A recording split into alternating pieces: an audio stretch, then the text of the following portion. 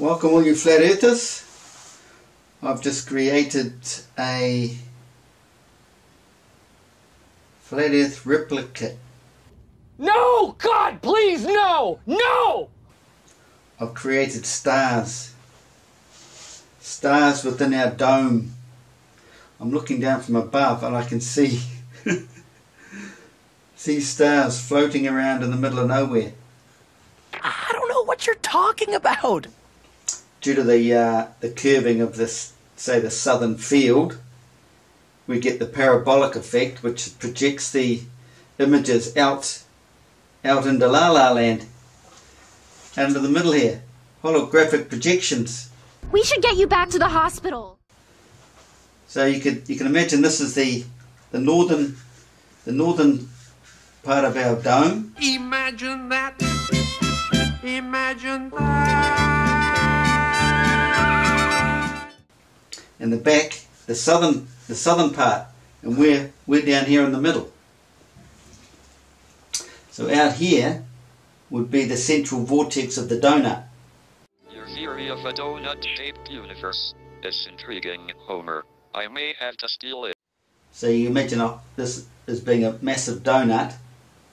So this this part will go all the way around in the solid part of the donut, and but in the centre will be the magnetic vortex that turns the magnetic field across and around the Earth.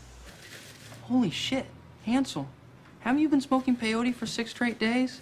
And couldn't some of this maybe be in your mind? So what you can see is how the northern field, the northern rotation, um, flips the image on the southern field upside down.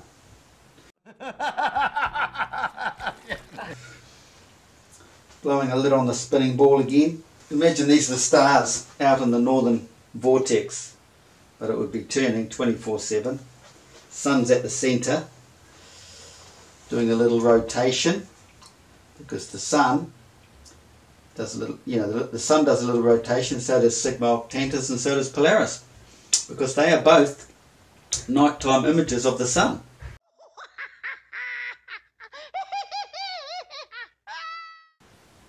It's not in the spinning ball theory book, is it? No.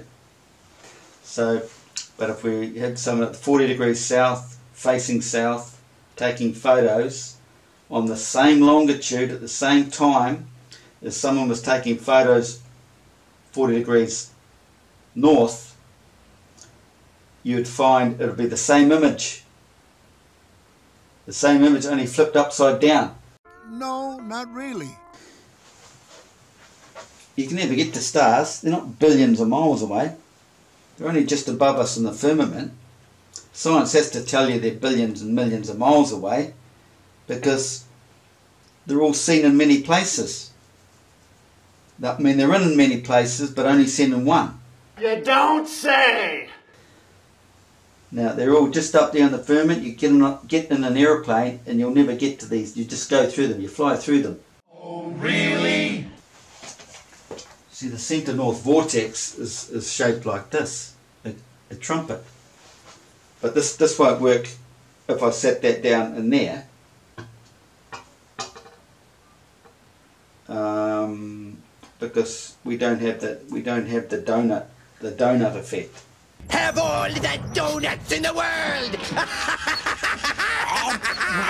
I think I've spilt the beans enough there. You can say that again. My channels don't go anywhere on YouTube. It's like YouTube YouTube does something with them. They just don't go anywhere. Like a year long videos looks like no one even looks at them.